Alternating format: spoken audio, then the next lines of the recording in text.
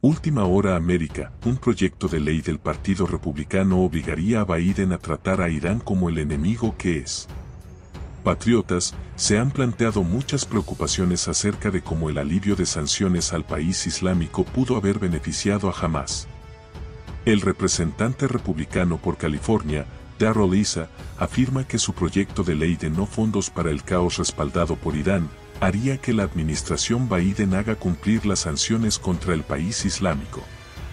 Luego de que Joe Biden pusiera a disposición de Irán 6 mil millones de dólares como parte de un acuerdo de liberación de cinco rehenes americanos, han surgido muchas preocupaciones sobre cómo este dinero pudo haber apoyado a Hamas a realizar los atroces hostigamientos contra Israel y según ISA, este no sería el único monto que Biden le liberó a Irán y que pudo haber ayudado en el hostigamiento contra el país judío.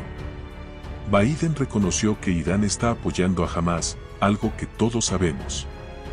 Debió haber dicho que su pago de rescate de 6 mil millones de dólares y 50 mil millones de dólares en alivio de sanciones permitieron a Irán apoyar a Hamas, expresó el representante a través de sus redes sociales.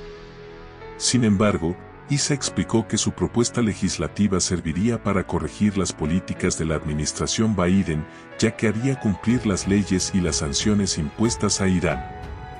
Mi proyecto de ley, la ley de no fondos para el caos respaldado por Irán, alterará fundamentalmente la dirección de la política estadounidense hacia Irán y finalmente hará cumplir nuestras leyes. Es una corrección de rumbo necesaria tratar a Irán no como un socio estratégico sino como el enemigo que es, afirmó.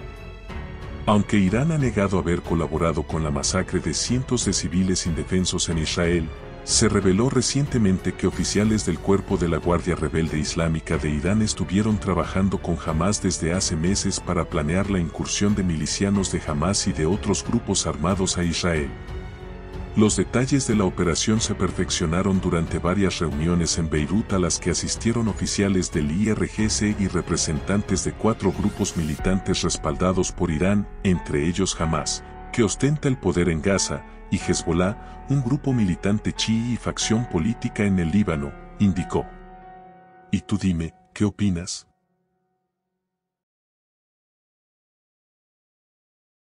Únete patriota a este tu canal de noticias sin censura y mantente informado de las mejores noticias de Estados Unidos de América.